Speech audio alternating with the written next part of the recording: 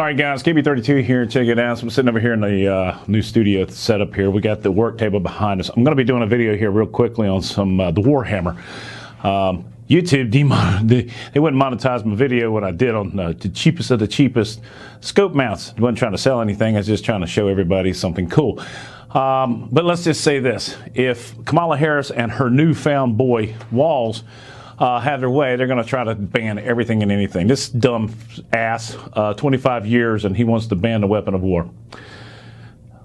Okay, she couldn't have picked a better winner. She picked the best person for the job, and I'm telling you what, everybody is ecstatic.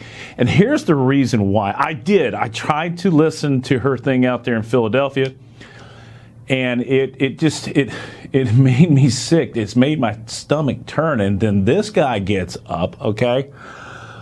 And it was the worst thing I'd ever heard in my entire life. Affirming gender uh, studies, or whatever the hell you want to call it, they want to have uh, they want to have children have the ability to go ahead and get that surgery, get their sex changes, mutilate their genitals, that kind of thing.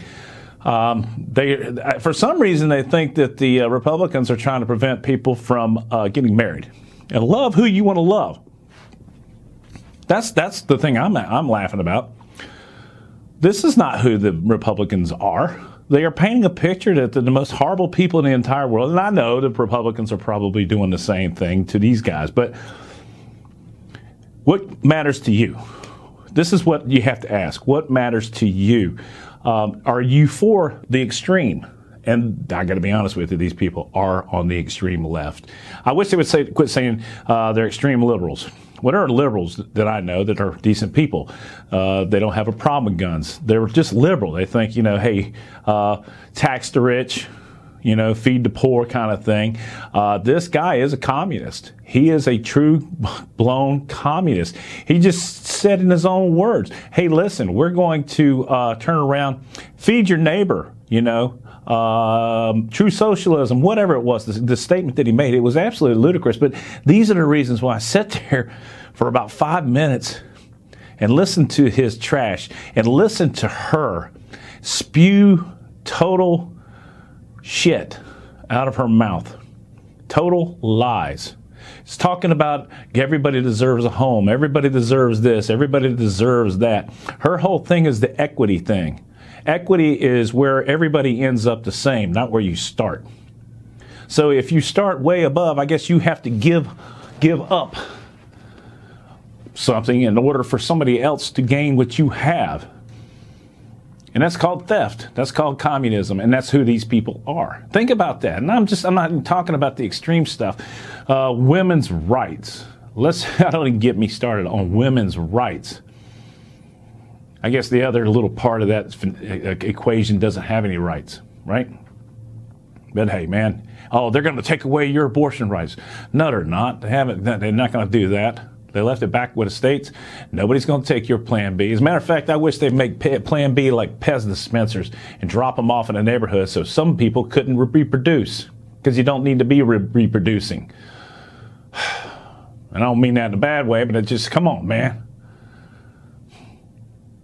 absolute lies, absolute trash, absolute this. The media has got to stop with the BS. This woman's been on the road for 15, 16 days and hasn't answered a single freaking question to save her life, other than she says, we need to be the wokest of the wokest. The woker, the better.